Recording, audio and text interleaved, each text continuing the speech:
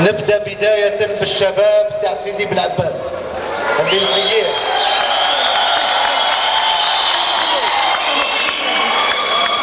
ونزيد نحييه ونحيي معاه لويا سامبيا فريق سيدي بن عباس. والآن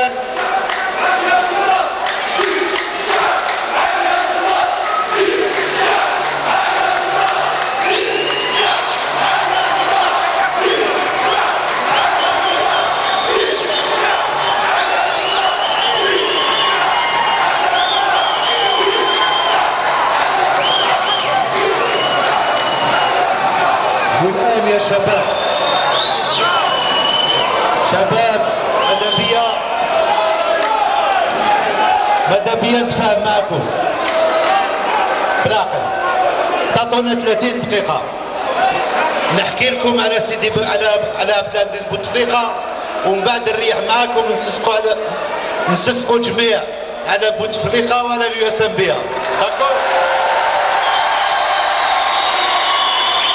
إذا إخواني بعد ما قلنا بسم الله أقول لكم سعادتي أن أكون معكم في مدينة سيدي بالعباس في مدينة سيدي بالعباس البوزيدي.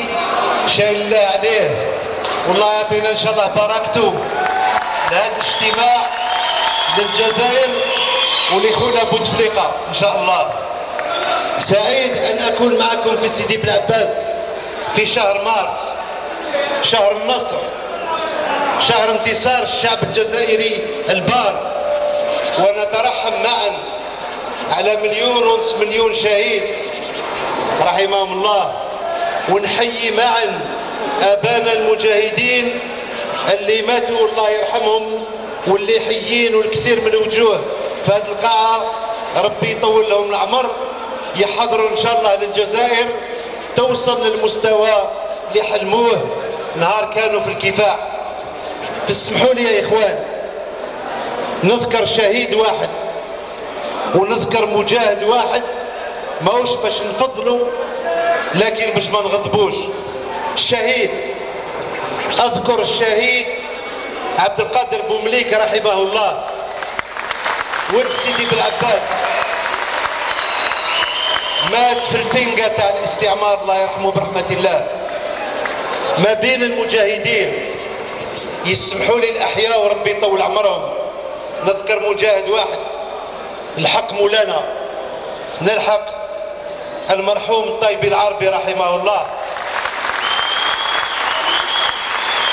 من كبار من كبار ثورة التحرير. من رفقاء بومدين الله يرحمه. ومن رفقاء عبد العزيز بوتفليقة اللي يحييكم تحية حارة. إخواني الأعزاء نحن معا في حملة. جينا باش نرافعوا على برنامج بوتفليقة. بوتفليقة كي باقي المترشحين اللي نحيوهم كلهم. عنده برنامج لكن بوتفليقة يتميز عن المرشحين الآخرين عنده حصيلة إلى بيلان عنده حصيلة. الحصيلة أسمع عندك بطاقة صفراء ما احترمتش الاتفاقية تاع 30 دقيقة. بارك الله فيك. قلت يا إخوان بوتفليقة عنده حصيلة. بطبيعة الحال كاين اللي يبغيها كاين اللي ما يتفقش. هذه الديمقراطية. لكن ما نقبلش الديماغوجية. ما نقبلش محاولة تسطير الحقائق حقائق اللي أنتم عايشينها. إذا نبدأ معكم الحديث بحصيلة الرئيس بوتفليقة. واللي هو موضوع الساعة وتحيا الديمقراطية ويحيوا الحريات. واش دار بوتفليقة في 15 سنة للديمقراطية؟ أولا أولا أولا خرج الجزائر من جهنم التناحر خرج الجزائر من النار. ونحن نتكلم عن النار والتناحر إحنا ماشي ماشي من جماعة النكارين تاع مجهود الرجال. والاول اللي ما ينكرش مجهود الرجال هو أخوكم بوتفليقه ونحن نتكلم على خروج الجزائر من النار. نحيي الرئيس اليمين زروال. الله يطول في عمره. نحيي نحيي الباتريوت والحرس البلدي اللي بقاو حيين. نحيي الجيش الوطني الشعبي اللي حمى البلاد. نحن نحيي شهداء الواجب الوطني ونميز 16 الأستاذة اللي اندبحوا في مناطق في الله يرحمهم برحمة الله. ونذكر بعضنا بعض يا جماعة الخير. كي دخلنا في دوامة الموت الديمقراطية حبست. كي جاء عبد العزيز بوتفليقة وبفضل الشعب الجزائري البار رجع الرحمة رجع الوئام رجع المصالحة. فنقول له بارك الله فيك بارك الله فيك هذه مسجلة لي مسجلة ليك للتاريخ. وعندما عندما عادت لهنا واش دار بوتفليقه الديمقراطية؟ اولا هل تفسح المجال السياسي أم لا؟ زادت أكثر من 30 حزب السنوات الأخيرة. هل الخواتات ونحيي النساء الجزائريات فتح لكم؟ خلوهم يزغرتوا وحدهم. هذه تاع النساء هل نفتح لكم لكم خوكم بوتفليقة. المجال تاع السياسة أم لا؟ اليوم اليوم نزوخ قدام الجناس. 30% من البرلمان الجزائري خواتات 20% من المجالس الشعبية البلدية والمجلس الولاي جزائريات هذه ترقية الديمقراطية أم لا؟ هل بوتفليقة ما عززش جهاز رقابة الانتخابات اليوم نسمع البعض يقول لك راهي وقع التزوير نقول لهم برزانات تبع الصوف. اللي عنده حجة يجيبها اليوم اللي يراقب قاضي. هل بوتفليقة فتح مجال الإعلام ولا ما فتحوش؟ اليوم تشوفوا التلفزيون الوطني اللي نحيوه واليوم تشوفوا عشر قنوات تاع الخواص. ونحيي الإعلام الجزائري. إذن واحد ما يزايد علينا في الديمقراطية. بوتفليقة ما دارش ديكتاتورية في البلاد. ونجي للحريات تكلموا عن الحريات. نقول واش عمل بوتفليقة في الحريات. هل يا إخوان فيه جزائري واحد دخل الحبس في ال 15 سنة الأخيرة على جال أفكاره؟ لا. هل فيه جزائري واحد دخل السجن على جال القذف 15 سنة. لا الرئيس يصوروه كل نهار عجايب وغرايب ما دخل حتى واحد السجن. هل في الجزائر. واحد مسجون كما يقول لك مسجون الراي ديتوني بوليتيك. لا. هل في الجزائر. واحد عرف التعذيب 15 سنة الأخيرة. لا. اذا هذه تبان إحنا تحصيل الحاصل. لكن لازم نقولوها. لأن يقول لك الجزائر تحت الديكتاتورية الجزائر ماهيش تحت الديكتاتورية الجزائر راهي في مسار ديمقراطي كل عام وهو يتعزز. والمسار يزيد يتعزز مع البوتفليقة فتح ورشة الإصلاحات.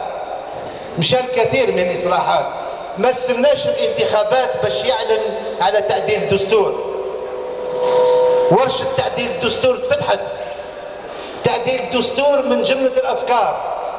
تعزيز دور البرلمان تعزيز استقلالية القضاء تعزيز مكانة المعارضة والكثير يجيكم نهار يخرج مشروع تعديل الدستور هذه السنة إن شاء الله وتعديل الدستور بمشاركة الجميع وباستشارة الجميع وإن شاء الله بإجماع من طرف الجميع.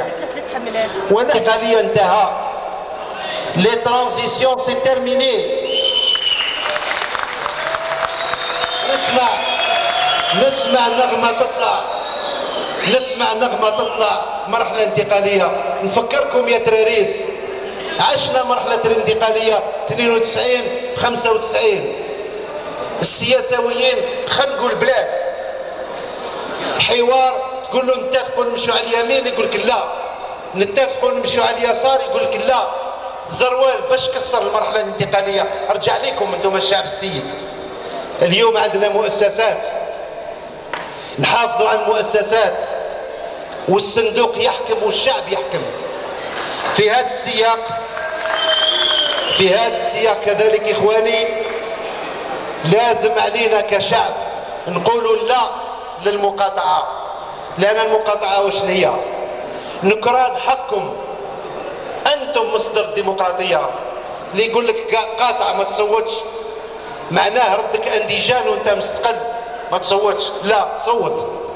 نقول كذلك لا لخيار الشارع. وهنا كذلك يا جماعة الخير نذكروا بعضنا بعض.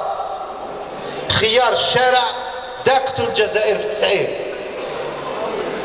مشينا للشارع أو خير الشارع وين لقينا روحنا؟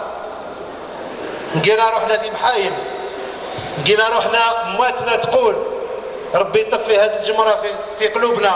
الرجالة واش تقول؟ ربي يرجع الرحمة بعضنا بعض. طفات الجمرة ورجعت الرحمة. ما يعاودوش يكلخونا مرة ثانية. لا للشارع. نقول كذلك لا للربيع. وراكم فاهميني واش قصد في الربيع. لماذا لا للربيع؟ الربيع ما نحاش الشوماج عند خاوتنا اللي برنامج بوتفليقه وفي حصيله بوتفليقه سمحوا لي قلت يا اخوان طلبت زوج دقائق زوج دقائق حبس طلبت جاوب علاش جاوب؟ علاش جاوب؟ لأن بوتفليقه بوتفليقه لا لا deux minutes deux minutes راك تروح expulsé كمل كمل. قلت يا, يا, إخوان. إخواني بوتفليقة جاوبكم علاش. لأن في مدرسة ثوره نوفمبر. المسؤول ماهوش فقط الدعم اليوم 17 أبريل. دعم بعد 17 أبريل. لماذا؟ لأن إذا كان نبنيو الجزائر تتبنى بالجميع. إذا كان نحميو الجزائر تتحمى بالجميع. إذا كان نمشيو الجزائر تمشي بالجميع. الآن نزيد لكم كلمة من عند خوكم. إحنا عروبية بالقبائل بالشاوية بناس الصحراء كلنا عروبية. وفي بلادنا من الحدود الغربية للحدود الشرقية عندنا مقولة. عندنا مقولة. نقولوا يا اخوان قولوا يا اخوان قولوا يا اخوان الرجال نقول نقول الرجال برجال ورجال بالله. إذا نقولوا رجال بعضنا بعض بوتفليقه مد يدو شدوها ونشدوا يدنا بعضنا بعض. وربي معانا ربي مع الحق. تبنى الجزائر تزيان الجزائر تحيا الجزائر. شكرا لكم. والسلام عليكم.